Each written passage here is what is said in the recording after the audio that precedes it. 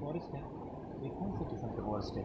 बसमीम ये हम आ जाए हैं रावला कोट ये सुगनती और रावला कोट का इलाका है आज़ाद कश्मीर का।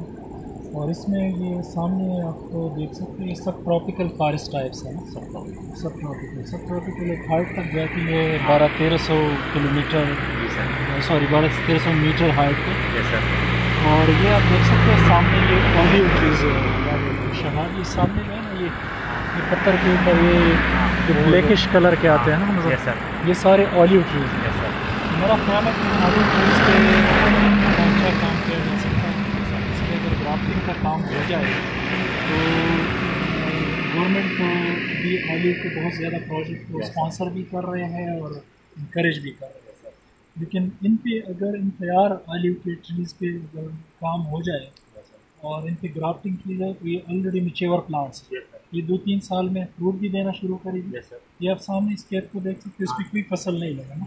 तो यही ऑलिव इनके वो भी हो सकते हैं। एक सरमाया भी।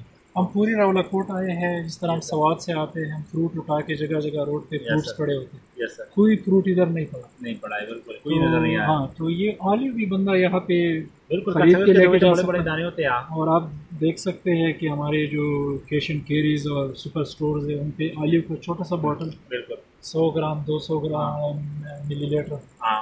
या ग्राम बिल्कुल सर। या 400 500 ग्राम का कितना महँगा होता है। महँगा होता है बिल्कुल। तो इस पे मुख्तलिफ़ किस्म की ऑलिव ग्राफ्टिंग होनी चाहिए। सर क्या यस सर और सर उस पर एक चीज़ लिखा होता है इटालिया हाँ। इटली से आता है। क्यों ना? हम अपने पाकिस्तान से हैं। स्पेनिश वेराइटीज़ हम बना के और हम रौलको बेचना शुरू करें और ऑलिव ऑयल की कितनी ज़रूरत है ये हर टॉनिक है जो शुगर और। डायबिटीज़ और ये मरीज़ है यही ऑयल यूज़ करते हैं ना तो ये